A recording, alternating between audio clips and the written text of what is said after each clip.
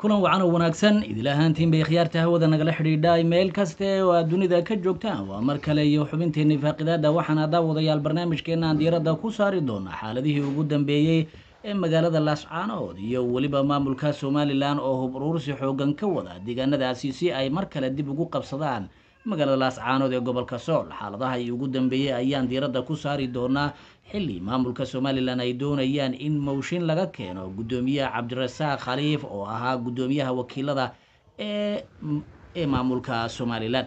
Waxaa kaloo daawadayaal barnaamijkeena aan ka maqnaan doonin hadduu rabbi idmo qalalaasi iyo xaalad ka taagan dalkaasi ethoobiya banaanbaxyo waaweyn oo ka dhacay deegaanadaasi. Waxaa kaloo inoo raaci doona hadduu rabbi idmo magaalada muqdisho la tilmaamayo in maalinta sabtiya uu ka dhici doono banaanbaxyo waaweyn. Oo looga soo horjeedo dowladda dalalka ay ka geysanayso magaalada muqdisho gaar ahaan bajaajleyda oo la tilmaamayo in beegsi gaara uu ku socdo dhalinyaradaasi. Waxaa kaloo daawadayaal meesha aan ku faaqidi doonaa dagaaladii ugu dambeeyey ee kooxaha al-shabaab iyo dowladda dhex mara kuwaasi oo lagu jabiyo kooxda al-shabaab. Lana tilmaamayo in in dhowaalaba ay ku jabiyeen dagaaladii ugu dambeeyey barnaamijka waxaa igala qaybgeli doona hadduu rabbi idmo saaxiibka gooni oo inta badan ka faallooda guud ahaanba geeska africa waxaanse marka hore ku bilaabaynaa xaaladihii ugu dambeeyey magaalada laascaanood inkastoo la tilmaamaya saaka in ay degan tahay oo uusan jirin dagaal culus oo deegaanadaasi ka socda. Gooniga maxaa ugu dambeeyey fargado waa mahadsan tahay magaalada laascaanood waxaa maanta ka jiro degnaansho aan caga badan ku taagnayn maadaama la leeyahay aroortii hore ciidamada somalilan waxay soo weerareen deegaan ku dhow magaalada laascaanood oo duleedkeed ah kadibna rasaas ayaa mees ka dhacday inkastoo waxyar kadib ay joogsatay. Marka waxaa la leeyahay mar walba somalilan waxay bushkareynaysaa inay isku dayday inay qabsato laascaanood weliba saraakiishu wuxuu amray muuse biix cabdi inay si deg deg u qabtaan laascaanood iyo deegaanada ku dhow haddii aadan qaban karina magaalada iisoo sheega waxba ma qaban karna. Dha haddii kale magaalada qabta ayuu yiri. Marka waxaa umalaysaa muuse biix cabdi inuu soo bushkareynayo saraakiishiisa si ay u qabtaan magaalada laascaanood laakiin magaalada laascaanood qabashadeeda waxay tahay culeys aada u weyn taasoo aan lagu degdegi karin maadaama dadka deegaanka ay jilbaha aasteen goodna ay ka qoteen magaaladan isku hareereeyeen marka waxaa laleeyi karaa dagaal iyo xaalad halis ayaa ka jirto. Maxaa laleeyahy welina boqol kiiba boqol ma ahin amniga. Magaaladan waa koronto la'aan laba maalmood iyo saddex maalmood. Xaaladdu marka way ka sii dareysaa fargodow waxaana la sheegayaa in cabdirasaaq khaliif oo ah guddoomiyaha golaha wakiilada ee lascaanood ku sugan in mooshin laga keena magaalada hargeysa taasoo muuse biix cabdi oo diidan yahay in xilka laga qaado maadaama la leeyahay arrimo kale ayaa jiro ayaga u dhexeeyo taasoo laleeyahy dhaqaalo fara badan oo loo dhiibay cabdirasaaq khaliif oo la yiri saraakiisha s c ku soo furfur. Isaguna uusan weli isticmaalin arrintaasna uusan gelin maadaama uu arkay in dadka la dulminayo dagaalna lagu hayo.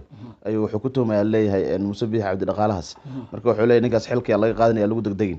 Marka culeyska halkaas ka jiro wuxuu leeyahay marnaba lama taaban karo cabdisaaq khaliif xilna hadda lagama qaadi karo. Inkastoo qeyb ka mid a golaha wakiil ay leeyihiin waa ilaa ilaa inaa ka qaadno oon banaanka ninkaas aan dhigno oo nin kale aan ku bedelna laakiin arrintaas way suurageli laadaha marka fargodo isku soo wada duube magaalada laascaanood waxaa ka jirto deganaasho aan caga badan ku taagnayn iyadoo hub aruursi iyo aada dareemeysay dhaqaaq ka socdo magaalada laascaanood iyo sida reer s c iyo reer somalilandba ay ciidamadooda isugu diyaarinayaan.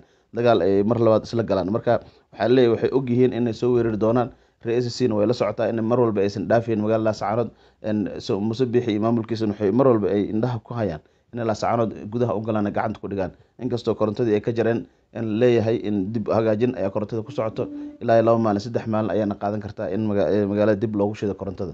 Marka fargodo xaalad halisa ka jirta laascaanood aada iyo aad baad u mahadsan tahay daawadayaal sidoo kale waa idin mahad celinaynaa goryow haddii aan u gudubno dhanka iyo koonfurta soomaaliya bal dalkaasi ethoobiya iyo xaaladihii ugu dambeeyey qallaasaha ka taagan dib baan ka faaqidi doonaa hadduu rabbi idmo maxaa ugu dambeeyey magaalada muqdisho banaanbax waaweyn ayaa laga qabanqaabinayaa magaalada muqdisho taasi oo dadka dhalinyarada ay dhigayaan. Waxayna tilmaameen gooniyow in marka laga reebo ma in marka laga reebo isbitaalada iyo waxyaabaha dadka daruuriga ay u baahan yihiin marka laga reebo in ganacsigoodi la xidi doono maalinkaasina ay dhigi doonaan banaanbax weyn marka maxay kugu muuqataa? Wallahi fargodow waa arkaya nin dhalinyaro hadlaya oo dhahayo magaalada sabdida lama shaqeysan doono banaanbax ayaan sameyneynaa in maxaa la yidhaha caldheere iyo xas sheekhna uma dhexeyn karno qaarna wayna qarxinaa qaarna wayna dilayaan. Marka ma awoodna ay dheheen arrintaasi. Marka ragnimadeena ku tushanayna waa inaan banaabax sameynaa. Magaaladana ganacsigii wax walba aan xirnaa ama baahi ha loo wada dhinto ama hala wada noolaada dheheen marka waxaa umalaysaa in dhalinyaradii ay tashatay go'aanna ay gaareen dagaal aada u culus iyo foodo iyo maxaa la yirahda ishaag inay bilaabi doonaan maxaa la dhahaa dhibaato inay magaalada muqdisho ka keeni doonaan iyo banaanbax marka waxay leeyihiin maalinta sabdiga ayaan rabnaa jimco shaqo ma jirta dhehen haddaan banaanbaxna xataa jimco wax ma soo kordhinayso. Laakiin maalmee la shaqeysala in shaqada la joojiyo oo meel la furi kari aysan jirin ayaan u baahanay dhehen madaxweyne xashin maxamuudna dhibaato nagu haya caldheerna dhibaato nagu haya.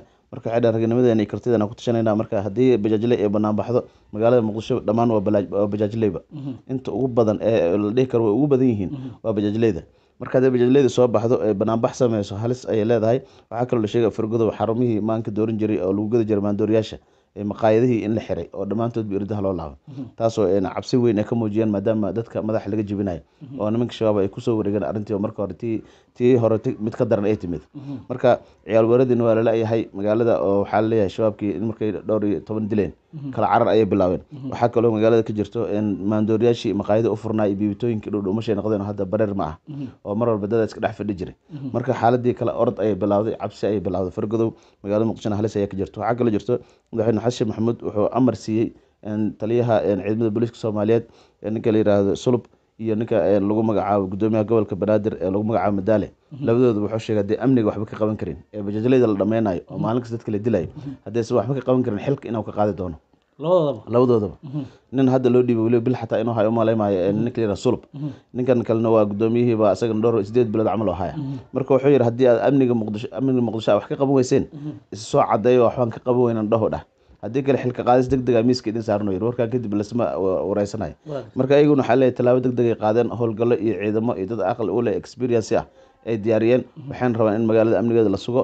Arrimaha in askarta iyo barnaamijkan oo ka khudbayeen waxay sheegeen ninka askari dila in maxkamad la taagi doono waxbana uusan isdaalin marka ninka dad shacbi dilo in mar walba tiirka la geyn doono. Marka waxba yana isdaalin dadka shacabkana ha ka leexdaano bajaajley lama dili karo qof qof inuu dilan ayaan lagu degdegin ay dheheen marka shalay doraad bajaajley laba laga dilay oo shalay midaa laga dilay doraadna midaa laga dilay waa iska socotaa in amniga sidiis kale qalqal ayaa ugu jiro. Marka fargodo waxaa waa hanjabaad aada u weyn ayuu u jeediyay nimankaas. Eh, aad iyo aad baad umahadsan tahay arrintan laakiin waxaa la tilmaamayaa in gacmo kale ay ku jiraan bajaajleyda la laynayo arrintaasi ma ku muuqata adiga horta bajaajleydan weligeeda la leen jiray oo markii waagii maxamed cabdullahi farmaajo ay joogata xataa bajaajleyda aada loo dhameyn jiray. Hadda waa sidoo kale waa la dhameynaya. Marka mar walba way dhacda horta bajaajleyda dhalinyarada anigu waa arkay muqdisho markaan tago in bajaajka raaco oo maxaa yidhaha meeshan shirkadan sahal la yihahdo ee diyaaradaha markii la soo maro in bajaajley laga qaata oo markaa xaafadaada u socotid marka waxay sameynayaan inta badan waa niman indha adag. Askariga way caynayaan baabuurta oo ciidamada hoosta ka galayaan.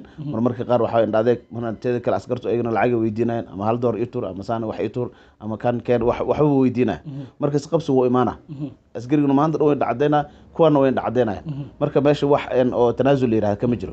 Askartu indhacadeynayso daraagiisi balaayo cuntay iyo ninkan oo asaguna indhacadeynayo magaalada dadka muqdisho jooga maba la kala cabsado waxaa arkaysaa cunug yaro toddoba jir oo sideed jir ah oo dhahaya nin askari waa- gafurka gaajibina eh, marka meeshu meel la kala cabsado ma nin kasta indhaha u shida. Eh, dhibaatada marka waxa keenaya isu tanaasul ma jiro. Dadku dad wax bartayna maahan intooda badan oo dad wax bartay oo ku yar yihiin. En teeda kale tanaasulka iyo maxaa la dhahay naxariista dadka inay ka guurto amaleysa inkasta askarta qaar fiican ay ku jiraan oo dad akhyaara oo wax bartay oo balood lahayn ay ku jiraan oo nidaam iyo ixtiraam leh. Haddana kuwo waxaa ku jiro oo cabtoy ah oo magac qabiil inta meesha lagu geeyey askarta iyo dowladnimadan saas ku galay oo macnaha qabiil beeshooda ay dhex geysa meesha oo weliba mooryaan ah ayaa ku dhex jirta askarta. Kuwaas ayaana dhibaatada ugu badan ku haya dadka shacabka. Nimankan en, bajaajleydana inta badan war wax ka joog ka joog ka joog iyadoo la maalin anoo bajaaj saarnaa nin qori nagu soo taaga ninkii marka booyadu saaran yahay booyadan oo biyaha lagu qaado. Baaburka booyadan waxaa ku tutaysan maxaa la yihahdaa kalarka oo ciidamada oo green waay marka qorayo nagu soo dhiibay daaqad wuxuu leeyahay istaag ninka istaag u leeyahay ninkaan ku sii wada. Waxaan ku irnay annaga hana dilini.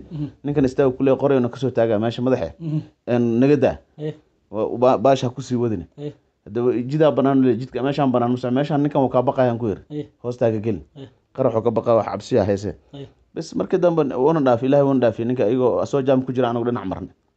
Oo sidaan ku dhaafna ha marka nimanka bajaajleydu ma qoraan indhahay dadka gelayaan waa ku dhowaanayaan maanta dhan marka nimankan askartan waxay u malayan in la yasayo nimankana niman kibir badan waa bajaajleyda naftikooda askartuna waa ka sii daran yihiin.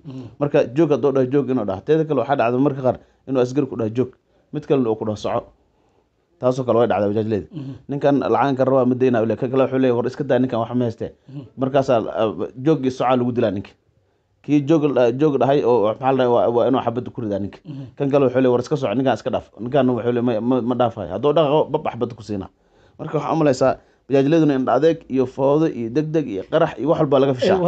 Nimankaana culeys kale wadan ayagana oo waad askarta mahadsan tahay gooniyo aad iyo aad baad u mahadsan tahay waxaan kaloon u mahad celinaynaa guud ahaanba daawadayaasheena. Ee kooxaha al-shabaab iyo dowladda federaalk ee soomaaliya waa tii dagaalo ay ku kula jirtay gobollada dhexe dalka soomaaliya. Xilli weliba inta badan la tilmaamayo in boqolkiiba siddeetan iyo shan ay ka sifaysay deegaanadaasi. Haatan maxaa ugu dambeeyey faragodow dowladda shalay waxay sheegtay inay dishay laba boqol oo shabaab ah. Dhowrka maalin oo la soo dhaafay weliba duqeyn lagu dilay intooda badan. Marka duqeynta ayaa ka socoto deegaano fara badan. Inkastoo diyaarada turkiga aysan beryahan wax duqeynin diyaaradaha mareykanka ayaa aada u duqeynaya. Mareykanka marka dowladda soomaaliya aad ayuu ula shaqeynaya. Maalin dhaweetana hub ayuu u keenay. Sanad military ayuu ka soo dejiyey magaalada muqdisho gaar ahaan elboorka adacadde marka waa lagu wareejiyey wasiirka gaashaandhigga iyo waxaa lagu wareejiyey ee, ninka la yidhaha odawa oo labada nin ciidamada ku shaq- ku shaqada leh. Marka waxaa umalaysaa mareykanka inuu hadda shabaab in la soo afjaro oo diyaar u yahay. Saraakiil fara badan oo duqeyn lagu dilana way jiraan. Mareykanka wuxuu sheegay in saddex sargaal oo culculus ay ka mid ahaayeen. Raggaas la duqeeyay labada boqol ah. Teeda kale waxaa la sheegay inuu mareykanka uu lacag duldhigay ninka caldheeraha shan milyan oo duldhigay waxaa kaloo la sheegay caldheere inuu markiisa hore muddo fara badan oo dagaalka altixaad nimanka la yihahdo oo ka shaqeyn jiray magaalada muqdishona oo ka shaqeysan jiray muddo fara badan oo isku dayay inuu maxaa la dhahaa in is- kooxaha islaamiyiinta inuu la shaqeeyo. Oo mar kismaayo ka dagaalamay marna puntland ka dagaalamay markii dambena isheeg oo gobolka geda ka dagaalamay. Saddexdaas bar inuu dagaal galaa la caldheere inta kale oo afayeenka shabaab yahayna oosan weligiis dagaal gelinba oo xilka iska hayo. Suuqa bakaarahana inuu daawada ka- shaqeysan jiray in masaajid gubta ku yaalo oo maxaa la yihahda asagana inuu ka akhri jiray maxaa la in kitaab uu ka akhri jiray. Marka ninkan taarikhdiisa iyadana waa la soo bandhigay iyadoo dheer ayay jirtaa. Inkastoo in aan waqtiga uun hayo in mar kale ayaan ka falanqeyn doonaa. Marka waxaa malaysaa fargodow in wax badan ay soo tarayaan. Eh, dadka qaar baaba tilmaamaya ninkan inuu canada uu ka yimid. Wax arrintaasi ma propaganda ma weligiis dibad ma aadin ninkan.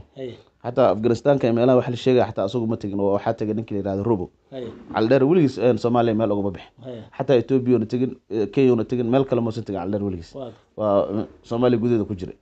Marka eh, weligiisna saddex dagaal ka qayb galay saddex dagaal altixaadka nimanka la dhihi jiray. Oo sagaashan iyo iyo sagaashan labadii. Marna ciididii qolis la dagaalama marna cabdullaahi yusuf puntland kula dagaalama marna gobolka gado qolooyin kale etoobiyaan kula dagaalama saddexdaas mar ayuu dagaal gala la yihah noloshiisaba. Inta kale waa iska afayeen meelaha dagaalka ka dhacan oo ka fogaada la yidhi meelo kale ayuu iska aadaa. Fargoda waxaa kaloo la sheegayaa in shabaabkii ay meelaha kaymaha ugu dhimanayeen oo meydkooda maalba loogu dhex tagayo kaymaha duurka maadaama baahi iyo oon daran uu qabtay ayagoo markaasi aan haysanin wax ay ku nooladaan iyo waxay cunaan. Marka fargoda waxaa la dhihi karaa een nimankana culays weyn ayaa jirto. Maalin dhawat waxaa la tilmaamayaa baabuur inay raashin kala degeen arrintaas. Baabuurka dee dad ganacsataa iska lahay oo een ree cadaada ah markay dhex sii maraayeen baabuurkii ku shumumeen raashinkii wixina ka bilqaysteen maadaama ayagu gaajo daran ay hayso duurka ayay la aadeen. Marka baahi hadday ku qabato aqli ma lihid. Marka nimankan waxaa leeyahay baahi ay qabatay meelo fara badan oo gobolka mudug iyo galguduud ka mid ah oo ku goodonsan yihiin oo ciidamada dowladda iyo nimanka puntland nimanka la yihahdo puntland ciidamadeeda iyo ciidanka darwiishta maxaa la galmudug oo isla socdo ayaa hareereeyey oo muddo maadaama ciidamada b s f ka qayb qaateen dagaalka xar dheer waxaa leeyahay marka go-doon ay ku jiraan nimanka shabaab ah duurkaas iyo kaymahaasayna ku dhammaanayaan dad dowladda haddii isku soo dhiibi rabaanna waxaa leeyahay shabaabkii aa xabadeynayo dilayaba oo dowladda xaggeed wax aadi kara mala rag amiira iyo rag fara badan aa loo diyaariya oo dilayaba marka waxaa malaysaa fargodow in shabaabku inay baahi iyo oon daran ugu dhimanayeen soomaaliya. Inta soo hartan inta kalena waxaa waye waaba isku dhammaadeen oo qaraxyo iyo duqeyn iyo dagaal ay ku dhammaadeen aad iyo aad baad u mahadsan tahay ee gooniyo waxyaabaha ugu dambeeyay barnaamijkeena aan ku soo qaadan doonana waxaa ka mid ah dalkaas ethoobiya waxaa ka taagan qalalaaso banaanbaxyo waaweyn oo ka socda gobolka guuji la yidhaahdo taasi oo dadka shacabka ay ka dhigayaan. Waxaa kaloo iyadana jirta oo dhibaatayadana ka taagan tahay gobolka tigreega oo in dhowaalaba la doonayo in maamul loo dhiso. Haddaba mucaaradka iyo weliba dadkii tigreega ayaa ilaa iyo shan qaybood bay u kala jabeen. Dadka ay u kala jabeenna waxay leeyihiin maamulku meelgaar in loo dhiso ayay qaarkood diidan yihiin. Marka arrintan ayaa waxaa dadka falanqeeya waxay tilmaamayaan in arrintani arrintii lala rabay tigreega maadaama hadda ka hor midaysnaayeen inay tahay muddo dheera ay toddobiyo labaatan sanana ay dadka maxaanku dhahay etoobiyaanka oo soomaalida ay ku jiraan ay dhibaato xoogan ku hayeen. Marka waxaa la leeyahay abiyo guul weyn ayuu gaadhay oo ku aadan in tigree hadday maanta kala jabeen oo kala jaban yihiin oo intaasoo xisbi iyo intaasoo firqa ay yihiin aad iyo aad buu ra'iisul wasaaraha dalkaasi u soo dhaweynaya ayaa la leeyahay waxaa kaloo iyadana ee, gooniyow la tilmaamayaa in ee, magaalada jigjiga ay ka jiraan baryahanba ee, maxaan ku dhahay dhibaato fara badan oo keensatay dadka in magaranaysa ama maciishada ha noqoto ama ma garanaysaa waxyaabaha kale musuqa oo haddana in dhawaalaba soo noqday ha noqoto inay dadku ay dad yaro dad fara badan oo dan yara inay gaajo iyo abaar ay isugu darmatay weliba gobollada daawo iyo erar iyo deegaanadaasi. Marka waxaa la tilmaamayaa in dowlad deegaanka soomaaliduna ay indhaha ka laabanayso arrintaasi oo aysan waxbaba ka qabanaynin una soo jeedin in ay howlahaasi ay guda gasho. Ee inta etoobiya naga soo gaadhayna waa imahaasi daawadayaal ee gooniya maxaa ugu dambeeyey? Faragodow horta waxaa la leeyahay ninkii muuse biixi cabdihay wuxuu amar deg dega siiyey taliyaashiisa ciidamada inay weeraraan magaalada laascaanood haddaysan maanta weerarin inay berri weerari doonaan. Taas wuxuu amar ku siiyey taliyaashiisa in haddii aysan waxba qaban karin inuu xil ka wada tirin doono. Dhammaantood taliya nuux taani ugu sarreeya in xilka laga qaadi doono. Haddii kale magaalada laascaanood iyo deegaanada ku dhowdhow iyo weliba dukaraq in gacanta somalilan lagu soo celiyo. Haddii lagu soo celi waayana wuxuu yidhi sheeg wax badan isbedeli doona rag fara badana xilka laga qaadi doona. Teeda kale waxaa la sheegaya maalmihii la soo dhaafay inuu booliiska iyo rag kale iyo soo gelinayo dagaalka. Laakiin taas wuu beeniyey waxaa la sheegaya inuu booliis ka qayb qaadan doono dagaalka ka socda laascaanood inaysan jirin. Waxaa kale sheegeen somalilan in weerar lagu soo qaaday isku bahaysteen nimanka la yihahdo shabaab iyo puntland iyo dowladda federaalk soomaaliya. Wuxuu sheegay in saraakiil ka tirsan dowladda soomaaliya ay ku jiraan dagaalka laascaanood isagoo rag fara badan oo ay ka mid yahay ninkii la dhahay xijaar ula jeeday oo weliba rag sarsare ayuu yiri oo dowladda soomaaliya muddo ka shaqeynaya inay ku jiraan dagaalka laascaanood la soconaa ninkii la feesar cala waraaba hadlana wuxuu sheegay in wax weerar ku soo qaaday maxaa la magaalada laascaanood inay yihiin haraadigi siyaad bare taasoo sheegay inay gumaysi doonayaan. Wuxuuna sheegay in somaliland dhammaanteen annaga dhan ayna midayn doonto arrinta hadda jirto. Kadibna iska difaaci doonaan dadka weerarka ku soo qaaday. Maalin dhaweyta muuse biix wuxuu kaloo sheegay in shanta maamul gobol hadday soo weeraraan somaliland inay awood u leedahay in iska celiso.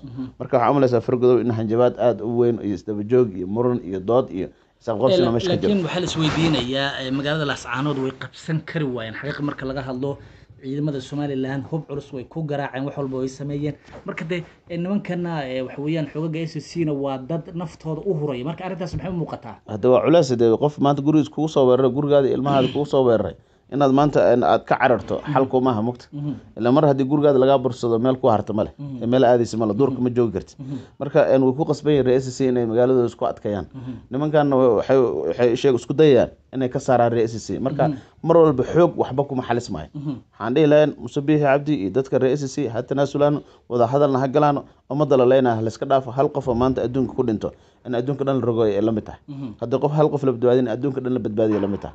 Marka dadka la dilaayo ama dadka cabdi fadaysan ama dadka qabiilka waxyaabaha u taageerayo ama dadka waxyaabahaasoo dhan waa ka soo horjeeda. Waxaa fiican dadka in si soomaalinimo ah xabadda loo joojiyo la wada hadlo la isku soo dhawaado. Qof dhinta ayaa wax walba ka daran. Marka dadka yaan la dilin. Awlaa soomaaliya dhibaato ka jirtay. Dhibaatadii iyo abaarihii iyo barakixii iyo soddonka sano burburka ahaa. Haddana yaa dagaal loogu sii darin iyo maxaa la lahaa dhibaato kale. Marka waxaa dhihi lahay halaisku soo dhawaado hana la heshiiyo. Muuse biixi cabdina dadkaas ku gardarooday ha ka leexdo waddo kale oo dadkaas lagu xallin karana ha u maro iyo aad baad umahadsan tahay daawadayaalkaasi wuxuu ahaa gooni oo inta badan ka faallooda xaaladihii ugu dambeeyay geeska africa barnaamijkeeni faaqidaada inta ayaan kusoo gabagabeynaynaa intaan dib dambe u kulmi doono mid kan mid lamid waxaan kaga tegaynaa sidaa iyo nabadgelyo